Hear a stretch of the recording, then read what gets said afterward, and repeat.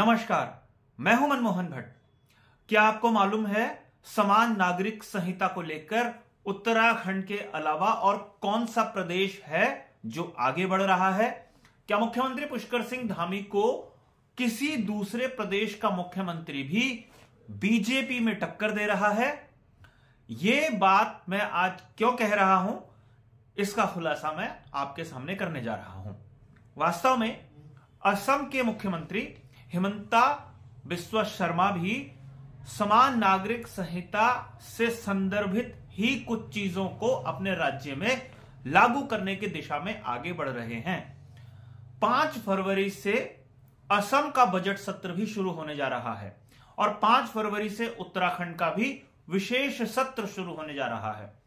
इन दोनों सत्रों में एक खास बात है। खास बात यह है कि उत्तराखंड सरकार समान नागरिक संहिता के संदर्भ में प्राप्त हुई रिपोर्ट को कैबिनेट से मंजूरी दिलाने के बाद विधानसभा के पटल पर रखने जा रही है। यानी राज्य सरकार समान नागरिक संहिता की दिशा में आगे बढ़ सकती है। इस तरीके का दावा सरकार कर रही है। इस तरीके का दावा बीजेपी के भी कई बड़े नेता कर रहे हैं। और ठीक इसी तरीके का एक और प्रावधान असम के मुख्यमंत्री हिमंता ने भी किया है। बहु विवाह पर रोक लगाने की दिशा में कानून को तैयार किया जा रहा है। जो वहाँ का न्याय विभाग है और वहाँ की जो समिति है, उसने अपना सारा काम कर दिया है। पाँच फरवरी से 28 फरवरी तक असम का बजट सत्र चलेगा और वहाँ पर इसे पेश किया जाएगा। अब आप टाइमिंग को देख लीजिए। असम की टाइमिंग और उत्तराखंड की टाइमिंग एक ही है।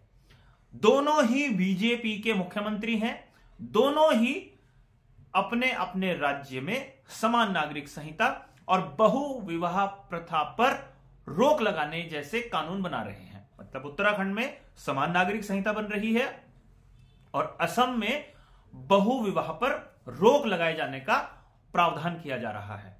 हिमंता भी अपने कई भाषणों में कह चुके हैं सार्वजनिक रूप से। कि अपने यहाँ भी वो समान नागरिक संहिता को लागू करेंगे। अब दो अलग अलग राज्यों में अगर ये पायलट प्रोजेक्ट है तो क्या असर होगा? हिमंता की बात करते हैं पहले। अगर असम में वो लागू होगा, बहुपत्नी, बहुपति या बहुविवाह पर कोई रोक लगाई जाएगी तो उसका असर ना सिर्फ़ असम में होगा, बल्कि असम से जुड़ते हुए पश्चिम बंगाल में होगा, बिहार में भी होगा झारखंड तक भी वो बात जाएगी और जो ईस्टर्न इंडिया है, पूर्वी भारत जो है, वहाँ पर इसका बड़ा व्यापक असर होगा। नॉर्थ ईस्ट में भी इसका बड़ा असर हो सकता है। और जो पुष्कर सिंह धामी के नेतृत्व वाली सरकार समान नागरिक संहिता पर आगे बढ़ेगी तो उसका सीधा असर उत्तर प्रदेश में होगा, हिमाचल में होगा, हरियाणा में होगा, मध्य प्रदेश और राजस्थान में होगा। हिंदी बेल्ट जो है खास तौर पर वहाँ पर वो प्रभावित करेगा, पश्चिम भारत में भी प्रभावित करेगा। यानी बीजेपी ने बहुत सोची समझी रणनीति के तहत असम और उत्तराखंड को चुना है और टाइमिंग एक ही है। इन प्रावधानों को लाने का बजट सत्र में या विशेष सत्र में लाने का समय एक ही है। यानी जो बीजेपी की टॉप लीडरशिप ने तय किया था, उसको एग्जीक्यूट करने की ज़िम्मेदारी पुष्कर सिंह धामी और हिमंता के पास है। देखना यह होगा दोनों ही मुख्यमंत्री किस तरीके से जो काम कर रहे हैं, उसको किस तरीके से एग्जीक्यूट कर पाते हैं, जो प्लानिंग हो गई है। और यह देखना भी काफ़ी महत्वपूर्ण है कि ये जो रेस है, बहु विवाह पर रोक लगाने की और उत्तराखंड में समान नागरिकता लागू किए जाने की, इस रेस में कौन पहले बाजी मारता है? क्या हिमंता पहले कानून बनाकर वाहवाही लूट लेंगे या समान नागरिकता संहिता के मामले में पुष्कर सिंह धामी हिमंता से आगे निकल जाएँगे।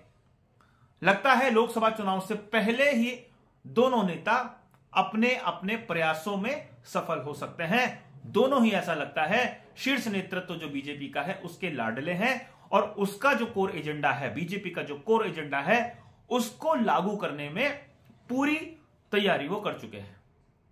अभी के लिए साथियों इतना ही। अगली रिपोर्ट में आपसे फिर मुलाकात होगी। तब तक इजाज़त दीजिए। नमस्कार।